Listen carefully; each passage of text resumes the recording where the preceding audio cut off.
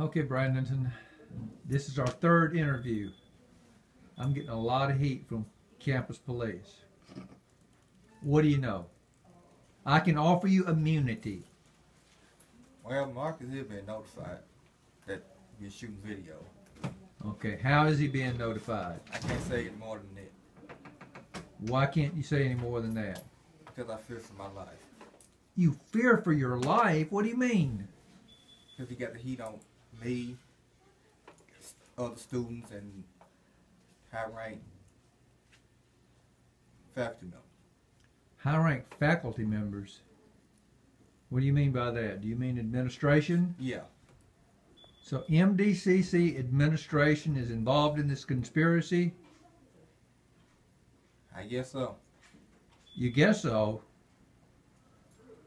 Give me specifics. I can't give you no specific Why? because I, I'll be killed.